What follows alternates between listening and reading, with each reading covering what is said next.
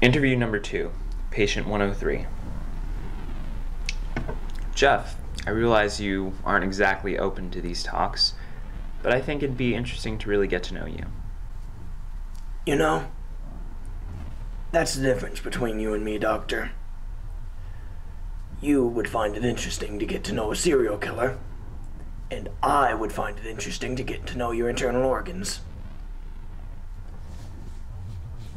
I've read a lot about you. Your complete history before you disappeared.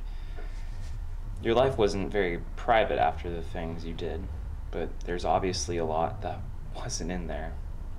Things you kept to yourself. Last time we talked to you, you referred to prey.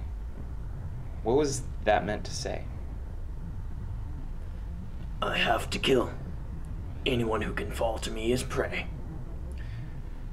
Why do you think you have to kill Jeff? I just do.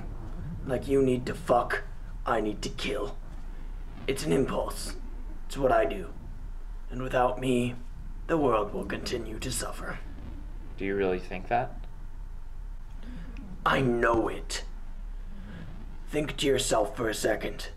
If you could, rest forever. Take a break and never have to carry another responsibility in your miserable existence.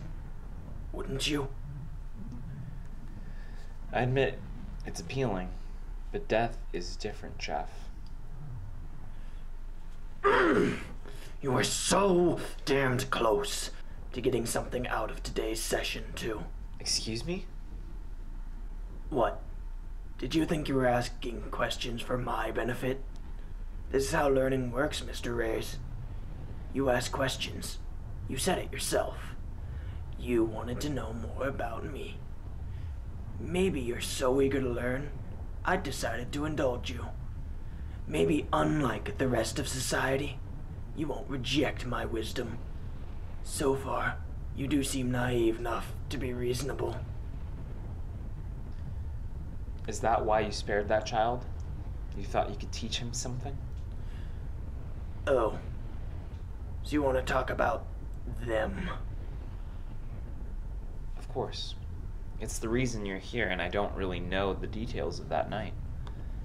It's an interesting topic, and I, I think it'd give me some insight into what you're trying to tell me. I already told you. I'm here because I want to be. And I don't want to talk about that. Sorry, Jeff, but I really think it would be a benefit. We're done. Jeff, I really would like to continue this conversation. I said we're done with this conversation.